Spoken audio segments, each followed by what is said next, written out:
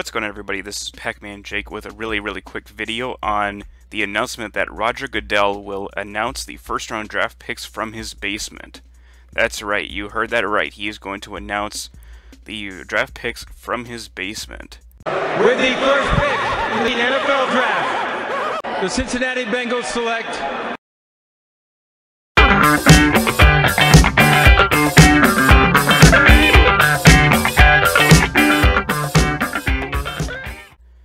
So this should definitely be a really interesting draft this year, you guys. We all knew that it was going to be very different. My expectation was that things were going to be handled uh, in a manner that where announcement pickings were going to be where Roger where Roger would step up to a podium, probably preferably on the NFL building head, headquarters, and announce them there. Whether he was going to have a small camera crew uh, being there but there's of course uh, there's also the possibility of there be doing doing it through uh, a video conference uh, type of uh, platform instead of actually having a camera crew due to the technology that we have today. But apparently it's going to be done in his basement, so it's going to be very interesting. So obviously the NFL draft will be done completely virtually with coaches, GMs, and scouts all working at home. They'll be collaborating with one another probably via video chatting or over the phone or ever how they choose to operate. This will definitely be this will hamper things a little bit, I think. And my I I just kind of see the communication being a little bit of a, a smallish problem. It's kind of better to you know be there in the building to be able to have the best communication, in my opinion. So this will definitely be a really interesting draft, you guys.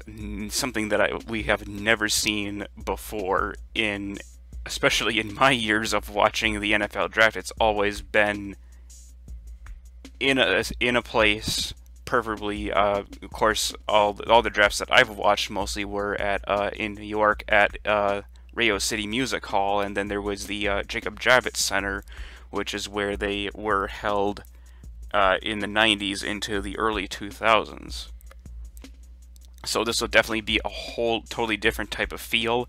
I expect this to be still relatively entertaining. I know that ESPN and NFL Network will team up together and they will simulcast together in the broadcast booth, which, however, that is going to work. The details of that have not been materialized so that's just all that I know. If anybody knows about anything a little bit more when it comes to how the broadcast situation is, you can uh, give me your thoughts and opinions in the comments, as well as you can uh, post uh, articles and such a way that just to educate the folks at home about how this NFL draft, pro draft process is going to work and let's just say this is going to be very interesting, but at the same time, I think it's going to be a very fun NFL draft. And even though it's not going to be as electric or as much of a more of like a party atmosphere as we are accustomed to seeing, but again, I have plans to go live for the uh, NFL draft. However, it's going to turn out. We'll just see how things go, and